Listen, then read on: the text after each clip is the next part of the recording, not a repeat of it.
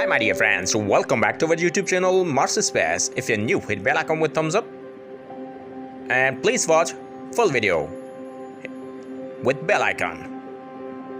Mars rover released this fascinating stunning video footage of Mars surface. Photo captured on 15th October 2022, Martian Day 587 of its mission NASA's Mars Perseverance rover acquired this image of the area in front of it using its onboard front left hazard avoidance camera A.